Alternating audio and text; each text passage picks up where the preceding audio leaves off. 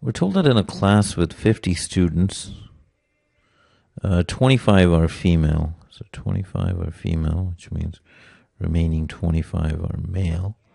Uh, 15 of the students are mathematics major, and 10 of the math majors are female.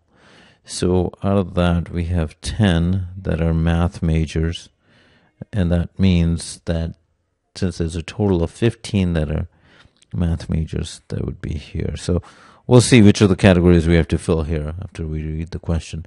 If a student in the class is to be selected random, we need to find the probability that the student selected will be female or a math major or both. Female or a math major or both. So female or a math major or both. So there's 25 females. Uh, and this is already include, included here.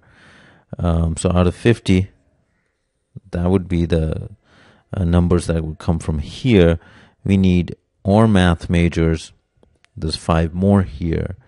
So this would be a total of 30.